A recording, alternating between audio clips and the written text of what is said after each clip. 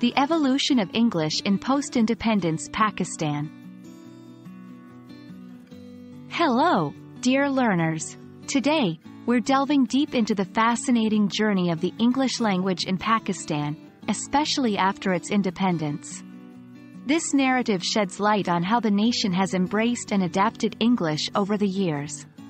As we go along, pay close attention to how global events, policies, and societal shifts have influenced this evolution.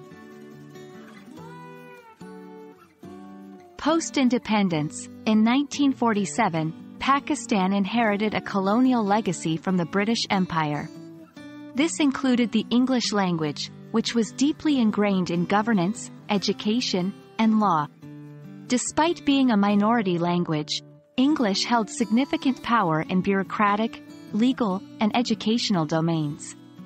For the newly established nation, English was a means of connecting with the global community and was perceived as a language of development and modernity.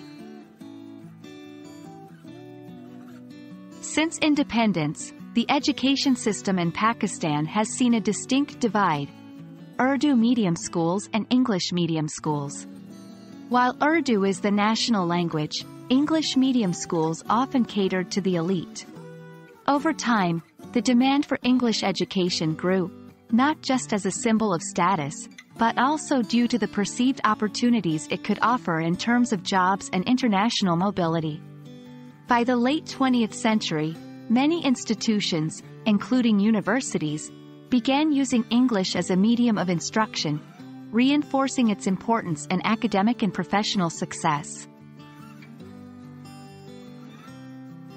Language policies in Pakistan have oscillated between promoting Urdu and English. Efforts were made to make Urdu the sole official language, but the utility of English in governance, international relations, and business could not be overshadowed. As a result, Pakistan has been functioning as a bilingual state, with both English and Urdu being used in official capacities. Over the years, English has secured its place not only in the urban centers but also in many rural areas, showcasing its permeation across different strata of society.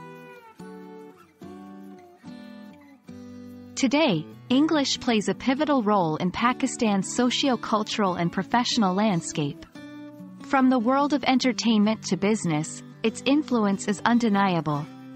The contemporary urban youth often code switch between English, Urdu, and regional languages, which showcases the amalgamation of linguistic identities.